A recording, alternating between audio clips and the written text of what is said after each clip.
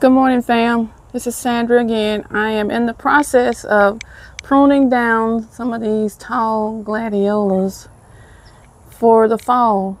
And I'm going to try to remove move my tripod up so you can see the tops of them. I'm going to cut them down to where the green is full, the greenery is full, probably about 24 inches and then I'll check for any seeds that might be inside all those dead brown parts. So let me set this down on my patio and I'm going to go over there with my scissors and start clipping and I'll bring the part that I clip up to the clip off to the screen so you can see what I've gotten.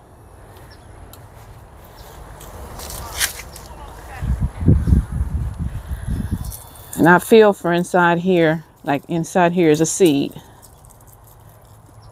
Oops, and I dropped it. there's a seed inside these little balls right here.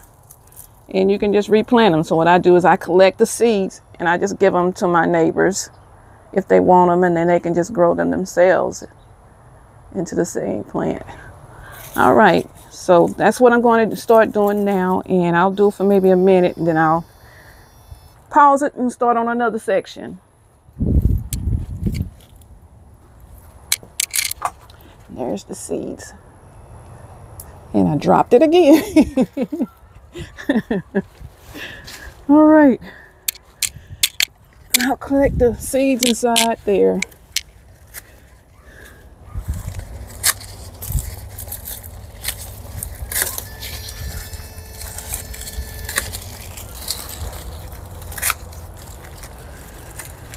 So, Here's my little bundle of joy right here.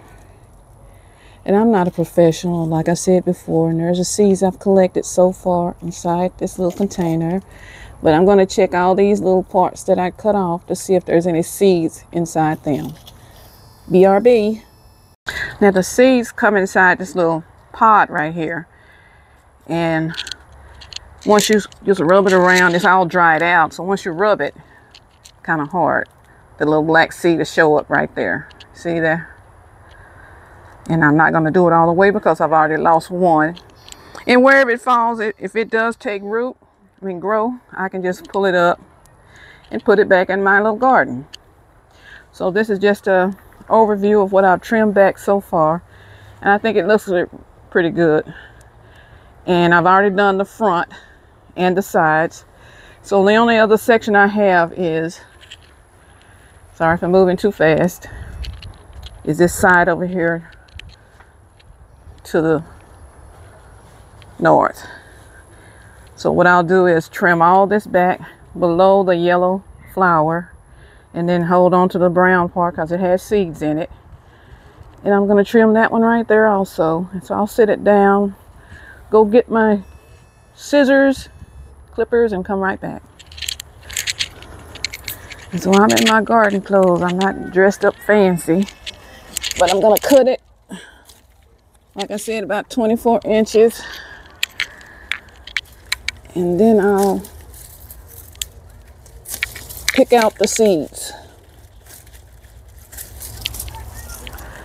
And there it is right there. There's some seed pods. There's one. It's not many on here. They may have already fallen. But I'll check it in a sec. Well, I took the glove off because I can't cut it off without the glove on. With the glove on, excuse me. So what I'm doing is just clearing up all the dead debris. Trimming back where I see it necessary to go as far as I go. I'm gonna cut this whole thing down. just thinning it out.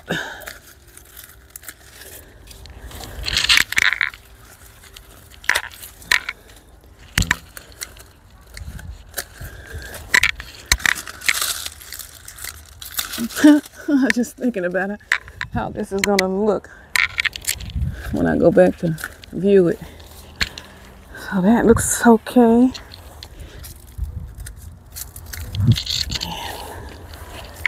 cut this back, and this back, and this down.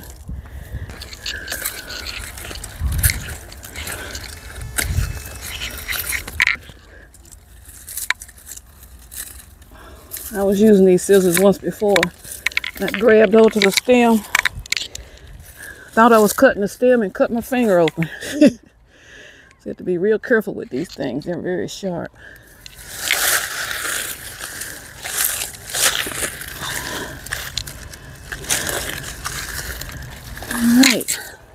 So let's look and see how it looks. Oh, I see some more over here.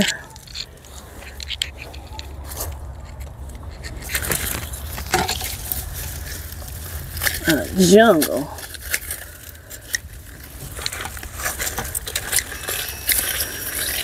This is probably where one of my little seeds popped out because I never planted anything right here.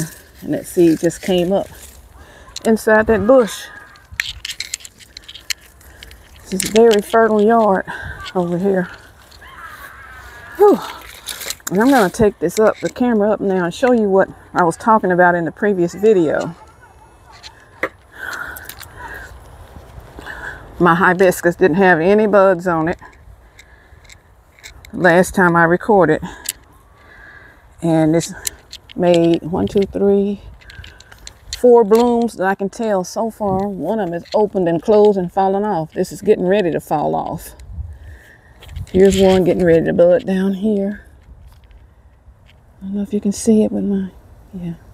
There's one getting ready to fall off. And I know I shouldn't do this, but I don't like to leave yellow leaves on the plant. Plus you can use the leaves for tea. So I dry everything up and store it until I get ready to make a tea. And I hope I have this in the right position for you to see. Well, family, I finished my trimming back on everything out here. And the last thing I want to show you all is my little rose bush I had spoken to you about that that was getting ready to bloom because of the leaf color. The leaves had changed to like a burgundy color.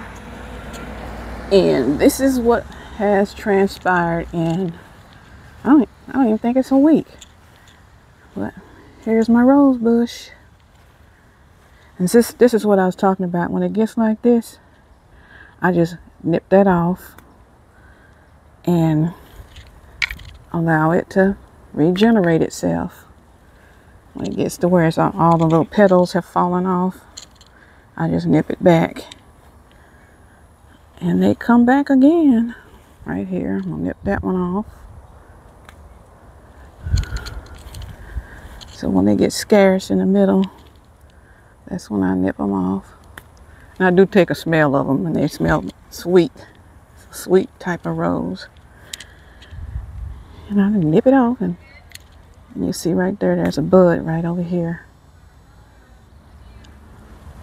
There's one getting ready to open. Another one at the beginning stages, little bitty ones right there. They're all over here. Right there. They just, everywhere I've nipped, they've come back. Let me make sure I don't put a shadow over everything I'm showing you. But there's my rose bush. All right, I'm gonna close it here because I am tired and ready to stop. I'll talk with you later. Don't forget to like, comment, subscribe, and thank you again.